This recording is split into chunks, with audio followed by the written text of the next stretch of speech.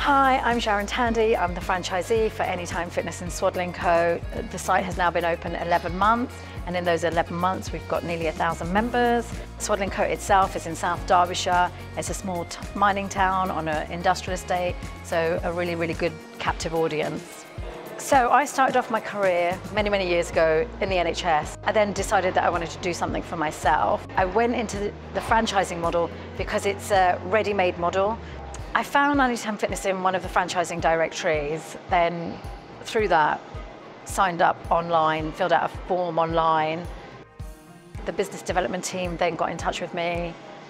Post that, I went to view a few clubs. I also looked at the financials, which made sense to me, um, and then here I am.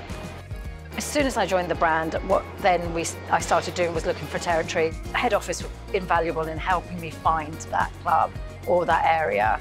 So got lots of support from property partners and also speaking to head office all the time regularly. What drew me to Swadlincote was when I looked at the area, saw the demographics, saw that actually there was still so much potential here.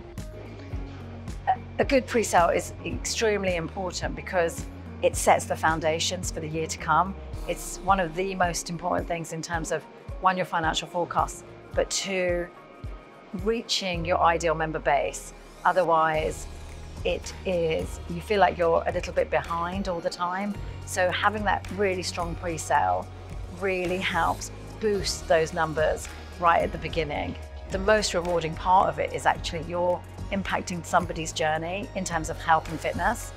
And you know, I've had people come in and they came in and were really, really shy when they began their journey. And now they're extremely confident with who they are, where they are in the gym, feel better about themselves. So just having that impact in somebody's life, that's the best bit.